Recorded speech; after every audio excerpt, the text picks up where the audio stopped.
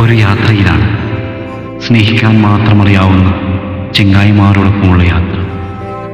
അങ്ങ് ദൂരെ സ്വർഗ കവാടത്തിലേക്കുള്ള യാത്ര.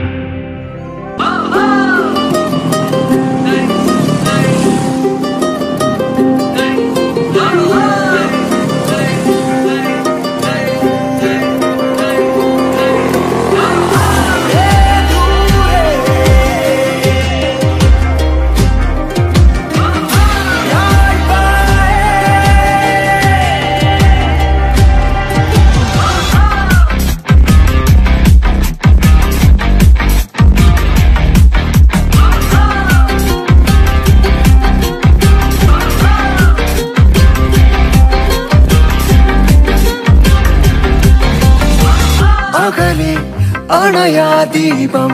സിരയിൽ പടരും ദാഹം പൊഴിയും കനവിൻ മേഘം വിങ്ങിപ്പൊങ്ങും വിണ്ണി ചഷകം കൈത്തുമ്പിൽ